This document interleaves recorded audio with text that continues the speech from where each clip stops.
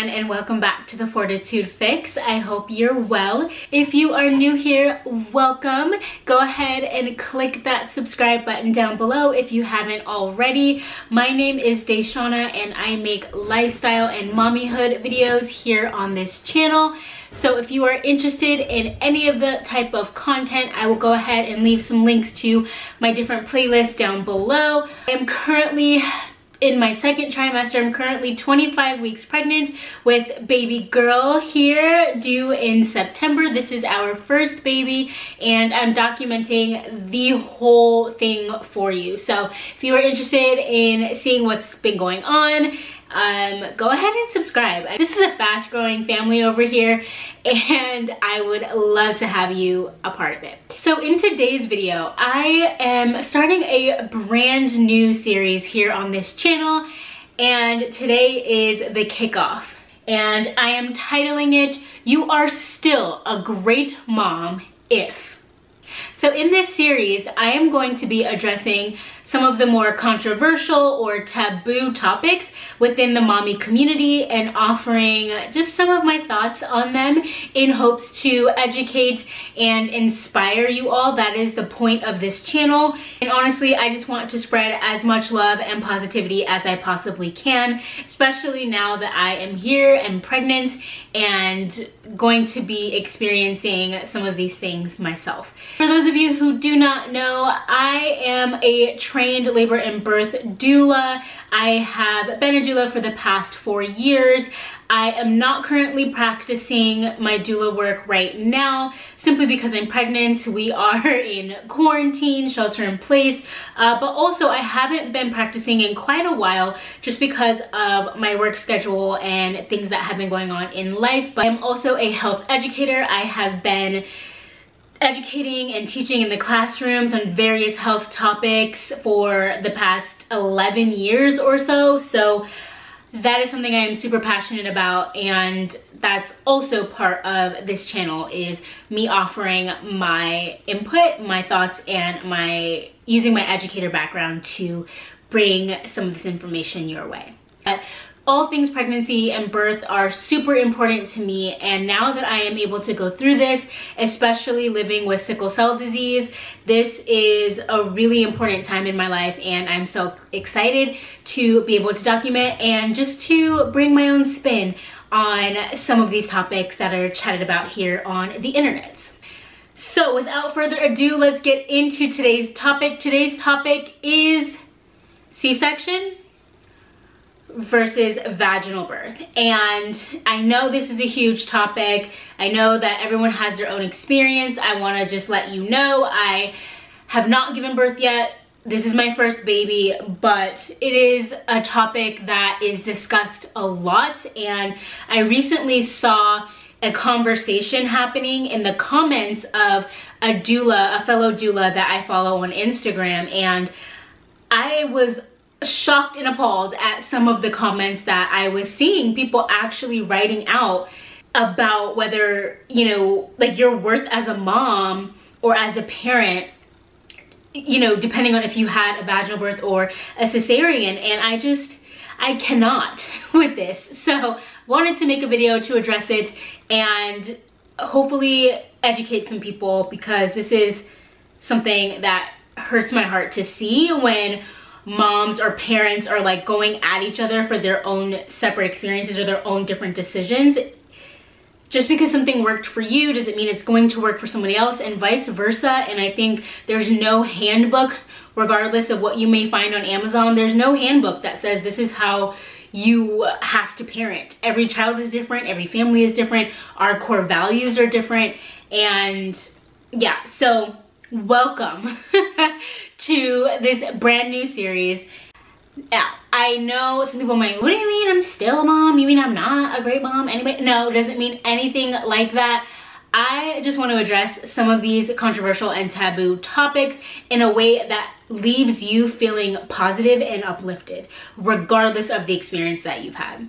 So today we'll be talking about cesarean birth versus vaginal birth. There are a few statements that I've heard regarding cesarean births and I want to address them. The first one, having a cesarean is not real birth. Number two, having a cesarean is a cop out. It's the easy way out. Number three, once a C-section, always a C-section. I cannot begin to tell you how many of these how many of these statements are out there, but also how these statements make my blood boil. I don't like it and I want to address it. First off, saying that it's not real birth if you have a cesarean, I mean, if you are pregnant and you are carrying life and you then bring that life earthside in the physical flesh, you have given birth, regardless if you have a C-section or if you have a vaginal birth. I often hear, um, you know, I'm having a natural birth. Well, I have a natural birth. All birth is natural. Like, I I don't like I don't like that terminology that's used as a way to put other moms down who've had a different experience. Because someone has a cesarean doesn't mean that their birth wasn't natural. Maybe what you mean is unmedicated. Maybe you mean that your birth didn't involve uh, any surgery or that it didn't involve an epidural or any pain meds. But to say that a birth is unnatural if it's this way and only this way is natural, that just isn't right. And I want us to be able to uplift each other here in the mommy community, especially on the internet where people get real bold behind a screen. Let's just lay that to rest. The second one is that it's easier. I mean, come on. It's labor, it's birth, it's it's not always a walk in the park, but that's regardless of what type of birth experience you have. To say that it's easier is to really not understand exactly what cesarean is. Having a cesarean is major surgery. It requires a lot of recovery and it takes a badass to get through that. And I just want to say that if you are a mama who's had a cesarean, multiple cesareans, or are thinking about having one in the future, please understand that this is not a cop out. There are so many different reasons why somebody might have a cesarean. It could be because they wanted to elective. You know what? I'm going to go in. This is what I want. I want to be able to know when baby's coming, etc., etc. It could be that the body is not necessarily doing what it's supposed to do. Maybe they're not dilating. Their, their cervix is not opening at a well enough pace. Maybe there's been way too much time from the time water broke to the time that, you know, a emergency cesarean is declared because of the risk of infection. Maybe baby's heart rate is not doing well with labor and contractions. Perhaps this person has been in labor for days and they don't feel comfortable continuing on for the health of baby or the health of, of birthing parent. So it is not okay to judge and say that it's easier and that it's a cop out. There are so many different reasons why someone might have a cesarean, and I think we need to be more open minded and understanding about that. The third one is once a C-section, always a C-section. That is completely not true. If somebody has a C-section, right, let's say this is baby number one for them, baby number two could very well be born via something called a VBAC, meaning a vaginal birth after cesarean, a VBAC. And there are many folks who maybe wish to go through another C-section for whatever reason. It may be something that they don't want to do and something that they want to try for is having a vaginal delivery. And so they'll talk to their doctor about whether they are the proper candidate for something like a VBAC, right? Having a vaginal birth after cesarean. So I don't want anyone watching this to get the idea that, oh, if you have a C-section, you just have to have more and more C-sections. That's not always the case. There are some health related issues that come into play, right? And the doctor and the uh, birthing parent uh, and the birthing person's decision making around that, but understanding it's not a not necessarily like a cause and effect type of thing uh, it, there's more that goes into that. And yes, it is true, right, that about one in three births are a cesarean birth. That does not mean that every birth has to continue to be a C-section after the first one took place. So I only talked about three different statements that I've heard, but I also want to talk about why some of these statements exist. I think that one, some people have a particular birth experience in mind and that particular birth experience comes to fruition for them and they can't fathom having a different experience. So what they say on these blogs or, you know, in comment sections of videos is really hurtful and they may not even understand how or why. Um, and I hope this video helps with that. A lot of people have different ideas or stereotypes surrounding uh, you know, cesarean sections and it kind of leads them to talk, but not necessarily speak from a place of education and uh, knowledge. And I would encourage those who are curious or those who have these ideas or these statements, if, if we've made any of those ourselves, to really kind of do some research and, and immerse ourselves in some of that information that's out there. Another reason could be that these individuals who are making these types of statements don't know anyone who's had a C-section, so it's not hitting home to them. It's not like, oh, my best friend or my sister or my mom had a C-section and they're telling me all about their story and I empathize with them, I share with them, I hear how they speak of their experience and, you know, so some of that is coming from a very uh, naive place and I encourage those who have only had one type of you know, labor and delivery scenario to seek out and maybe talk to others and ask them, how was your birth experience?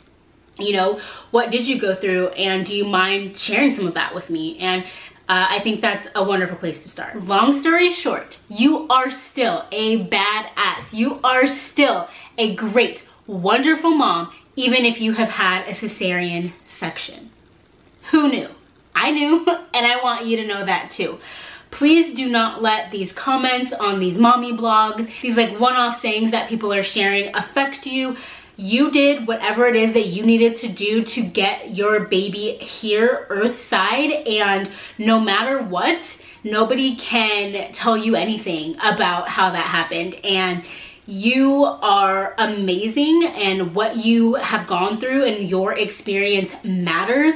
And if we are folks who have said some of these things before, I encourage us to kind of change our thinking, at least educate ourselves, and maybe choose our words a little bit differently because a person's experience with birth is very physical, it's very emotional, it's very spiritual, it's it's very uh, sacred, and it's something that you don't forget. And all of the love and support or lack thereof are things that we remember. And I want everyone to be educated and have an open-minded perspective um, that, you know, your birth, your labor may not go as planned, but it's great to have a plan. And it's also great to know that regardless, you are getting the most beautiful gift at the end of all of it.